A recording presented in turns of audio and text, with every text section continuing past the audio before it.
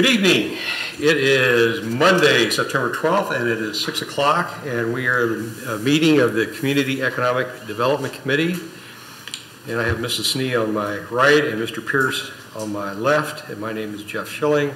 I am the chair, and we are here tonight to provide a recommendation to council regarding accepting the final plat of the Fox Harbor subdivision, Section 9, and the dedication of right-of-way as recommended by the Troy Planning Commission. Who's going to provide any information on that? Uh, Briefly, August uh, 24th, the Planning Commission did provide a uh, unanimous recommendation for approval of the final plat. Uh, You have that uh, in front of you, I believe, yes. Uh, That is Section 9. Uh, We do have some right- right-of-way that needs to be dedicated as part of that process. This consists of 21 building lots, approximately five acres. Uh, There's right-of-way uh, included that is just over one acre. Um, uh, The park board had had previously approved uh, fees in lieu of, of uh, additional uh, park space.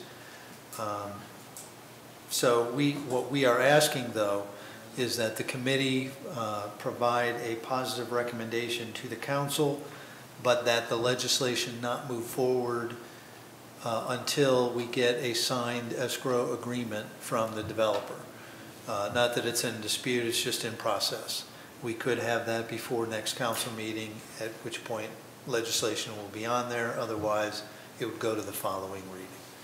Otherwise, So, okay, so we'll have a, it'll be read, the first reading will be next Monday, but we want to, we don't want to have a first reading next Monday.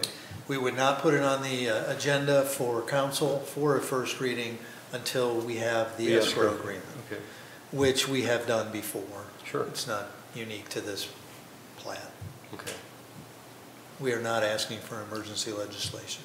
We don't want to do that. Questions, comments?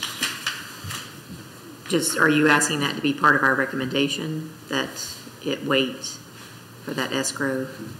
Probably would be good, yes. Okay. That's my recommendation, and it waits for escrow. Okay, Any uh, comments or questions from other council members? if I may.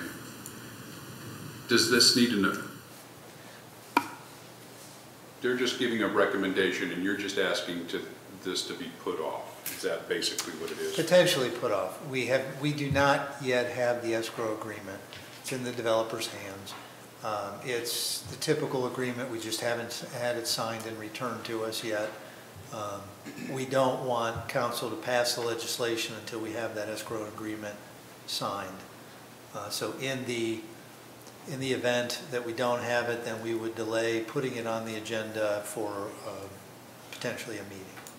So you're asking this to be done in lieu of amending the legislation? To add that as a, s- as a No, we're, condition? we're asking that it be done in lieu of uh, including language in the legislation that council's authorizing the approval contingent upon. We would not have to worry about the condition because you won't even see it until that condition is fulfilled. Got it. Thank you. That's all I have, Mr. Chairman. Any other council, anybody in the audience be interested in commenting on this?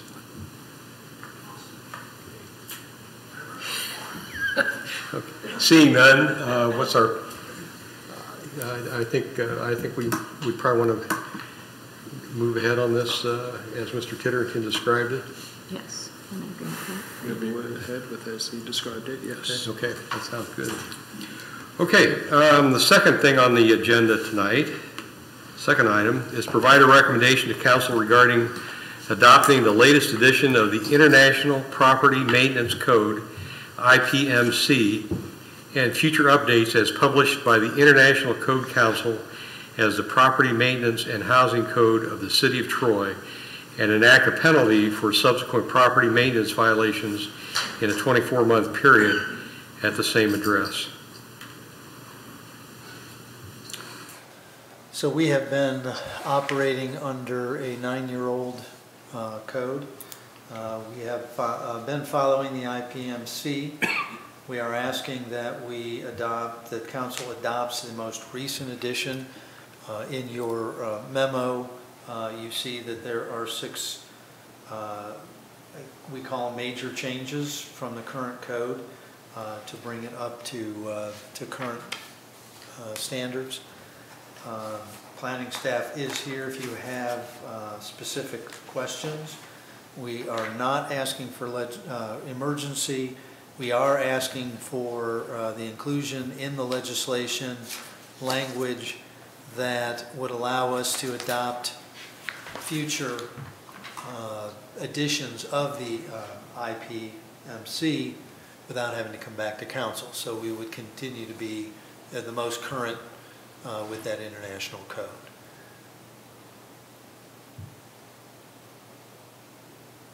Okay. So what's, the the downside of that would be if for some reason something in the, this international code is not something that we want, that we want to do, then it's adopted, I mean, we're essentially giving up our, our right to adopt the code to staff, is that what you're asking for? Uh, I mean, Well, you're, I don't know about control, I don't know how much control you would want to have over uh, the universal code that ever, that basically everybody follows. I'm not sure what unique circumstance we might have versus anybody else.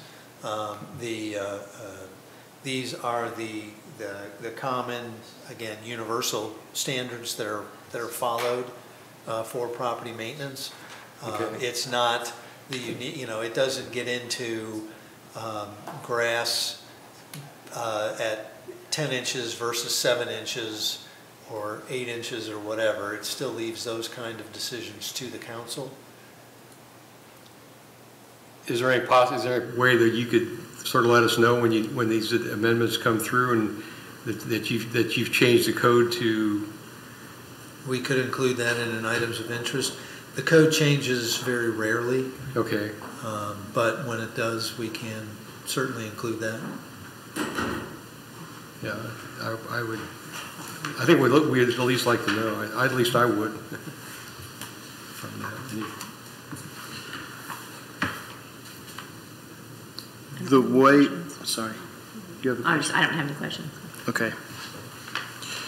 The language, the way the language reads in here is penalty for subsequent property maintenance violations in 24-month period at the same address. My concern about it is are, would there be various violations? Like one time they, they had too tall of grass and then 18 months later, they were being penalized for something else. Would they be, get a, would that be in violation that 24-month period then? Or is, are we looking at too tall of grass both times? It would be subsequent property maintenance code violations, which is essentially peeling paint, broken windows. It, it affects the house. It's not so much the property area, while there is provisions for that, it's primarily the structure, and it has to be a subsequent violation of the structure. Subsequent doesn't mean the same. It could be different. So peeling paint one time, broken window a different. Is that accurate? That, that's accurate, but it's still in violation of the code as a whole, Okay. as the penalties are. So just, so two violations in a 24-month period, it doesn't have to be the, the same violation, it could be two, like one could be a broken window and another could be uh, a railing falling down or something like that. Yep, that's correct. Okay, so, so they could have two and then they would be fined or penalized.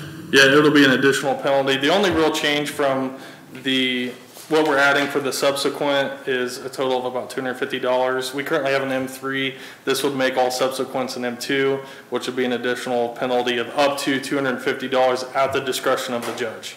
Okay. And this is not emergency, so we could No. think about this a little bit longer? Well, we get, Could we we have delay we have a three readings, yeah. You know how that works. Yeah. But before we recommend it moves on. And then that would require another committee meeting. And what, what kind of questions might you have? I don't know, I'm just looking at the property owner rights, but uh, safety issue is a concern on the other side too. And that's one of your concerns about these code violations is safety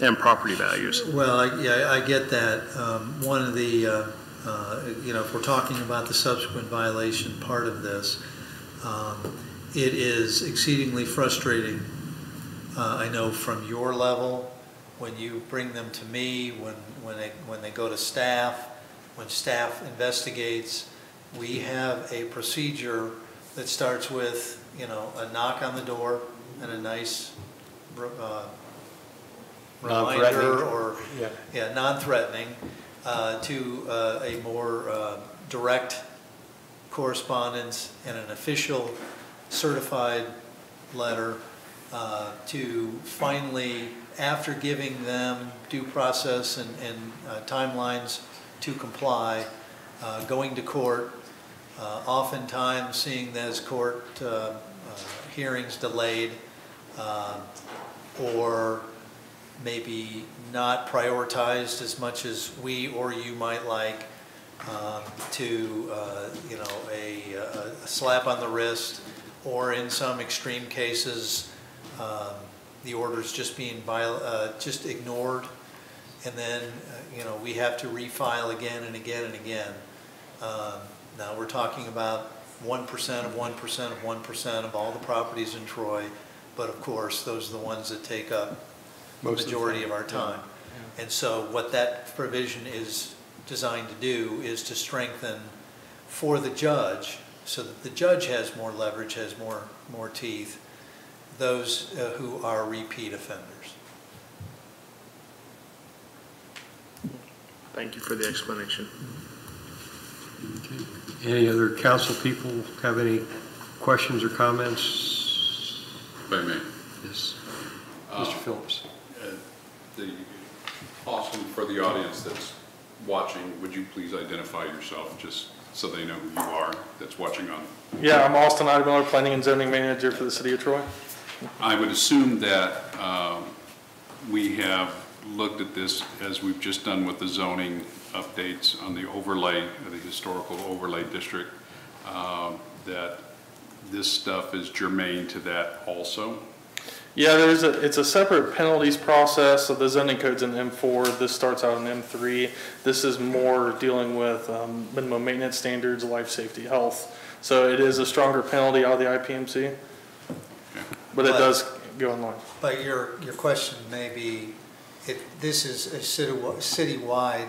Right. And so it would be enforced equally unilaterally, um, regardless Right. of what part of town. Right.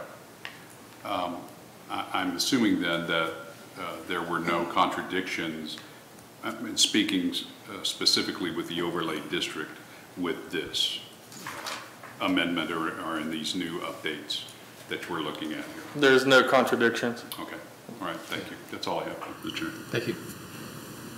Any other members of council? Any audience uh, would like to participate? Okay, seeing no other comments, what is our preference here? Move forward. Move forward? Mr. Pierce? Move forward. Move forward, I think we can move forward with this then. Okay, um, is there anything else before the committee tonight? No, sir. I think we're adjourned. Thank you so much.